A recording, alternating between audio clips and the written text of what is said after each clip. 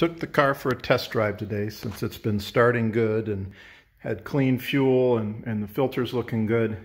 I could get a couple hundred yards down the road and then it would sputter and quit. And then if I let it sit just for a second, restart it, it would light back up. And then I found if I kept it at about 1,000 RPM or less, I could limp it back home.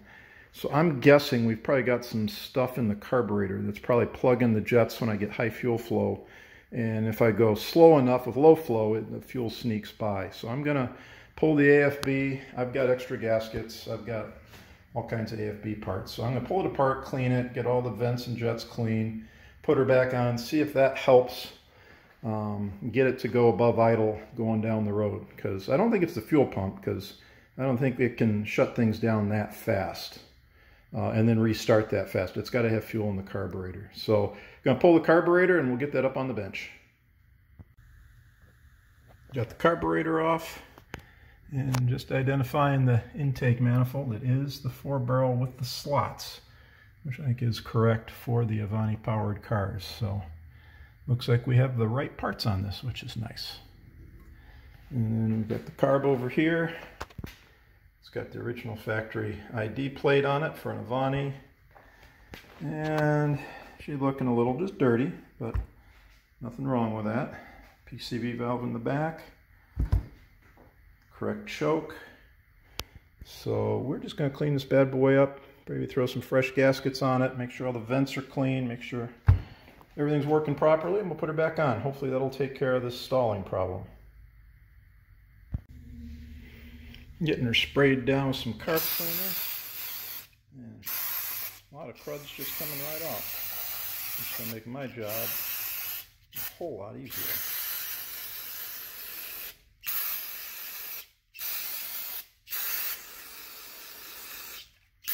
So we'll let that sit for a minute. We'll start scrubbing some of it. Let's see what we got. Well, that's a nice step. Get all that heavy crud off, and now we can actually start working with this thing. I'm always amazed at how much stuff just pours right off. And you, you keep spraying it with the carb cleaner, and it just keeps running off. But this gets us going, so now we'll start taking it apart, see what we got going on inside. Well, there's some crud in here, but not as much as I would have thought. There's the primary jets. No, I'm sorry, those are the secondary jets. Primaries are right up in here.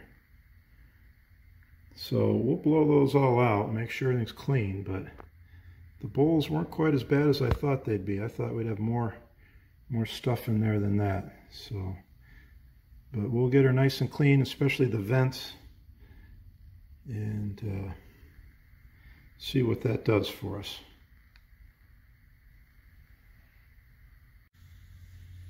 I'm putting stuff back together again, and I'm just putting the last primary jet in. And just thought it was humorous that uh, this is the custom tool I use for installing jets.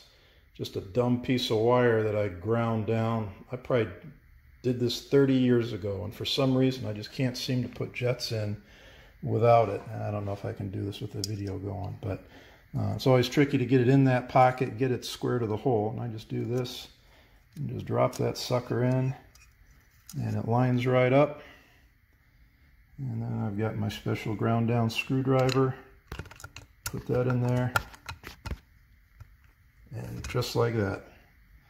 And I don't know why. It's funny how the dumb tools you make once, suddenly you have to use it every time. So I keep that with all my jets and metering rods. And anytime I work on carburetors, that's right there with me. When I rinsed out the inside of the carb, the where the fuel is and the primary and secondary jets. I drained all that onto a paper towel and then onto newspaper. So this was a clean paper towel before I drained it. And this is all the stuff that was inside the carburetor. So this would be in the fuel bowls and the jets. So we did have quite a bit of rust and corrosion in there. So that's all cleaned out now and we'll see if that's enough to get it to quit stalling. So we'll fire it up here in a minute. So after sitting overnight, this is how much fuel's left in the bowls. So I'm clearly not having an evaporation problem, at least overnight. We've got lots of fuel on both sides, so I don't think that's my problem. And I've got fuel in the accelerator pump pocket. So we're going to take that accelerator pump apart. and take at least the, the nozzle apart, check the nozzle for cracks and a fresh gasket, and then we will take and replace the pump. I think that's, uh, I got two of those. I'll, I'll just grab another one and pop that on. That way we'll be sure. But we'll check it for function before we um, put her all back together again. Sprayed out the primary and secondary boosters and passages and this is all the crud I got out of there. Again this was clean paper towel. So you see we had some pretty good chunks in there. And the accelerator pump circuit. So We've been getting a lot of trash out of this carb, so hopefully this will help her run better.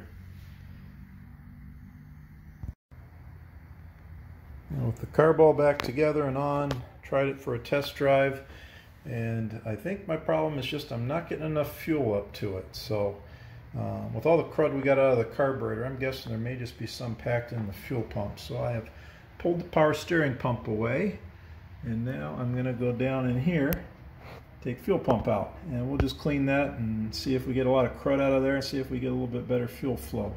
So right now it fires up. If I prime the carburetor, it fires up, runs for a short period, then dies. And if I check it to see if I've got fuel coming out of the uh, squirters, there's none. So I'm, I'm guessing we're just running short on fuel. So we'll take a look at the fuel pump and we'll go from there. Got the fuel pump off and cleaned it up a little bit of grease on it, but that's just normal coming off an engine. So got it over here on the bench and we will take it apart. Look at that, already seeing some crud coming out of there. So we're going to take it apart and see what kind of crud we got inside, clean it up, put it back together, put her back in. Now the diaphragm looks good, so I don't think we have any problem there. And Let's take the valve body apart. We'll see, see what we got there, but not a lot of crud in it. Kind of surprised. Thought I'd see more than that. Okay, we found a mess. Look at all that crud in there. A lot of sediment and rust. So we're going to clean out the valves, clean out the pockets, and get all that out of there, put her back together again, tighten right. And that should help. Okay, we're going to clean this out.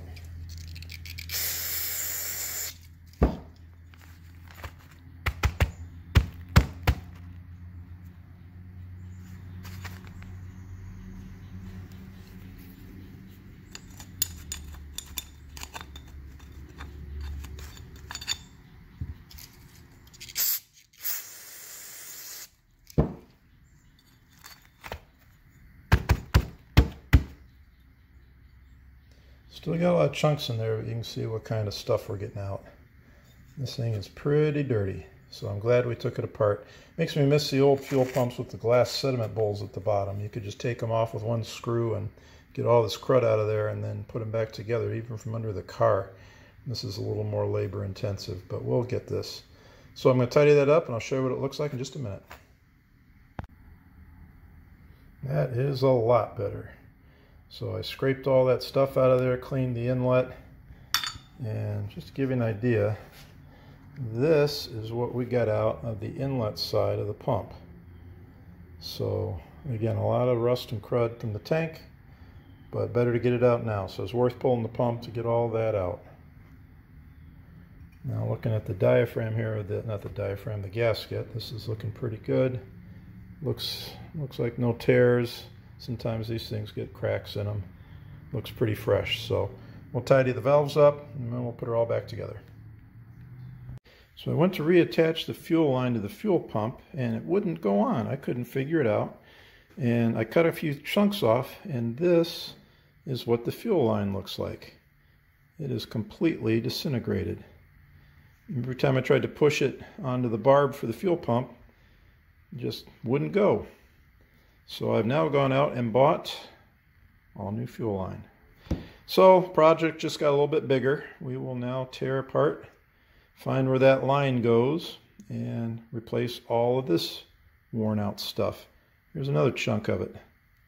This is right at the end. This is where the clamp was on the fuel pump. Look at that.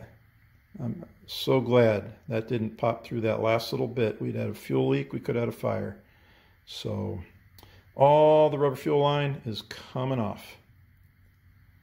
I just fired it up. I cleaned out the fuel line last night, had it running. Fuel filter's looking, that's got a little bit of fuzz in it, not bad. But at idle, it can sit here and idle all day. Nice and smooth, no problem. If I take it out and drive it, I can't go more than one or two tenths of a mile.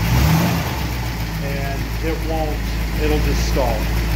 So something, if I pull the fuel line going into the fuel filter, nothing comes out. If I burp a little air back into the tank, I hear a bubble. Release that, fuel will come flowing out of the line, plug it into the fuel pump, and she runs. And that's where it's at right now. It, it runs smooth, um, no issues. So that's as far as I feel I can get it.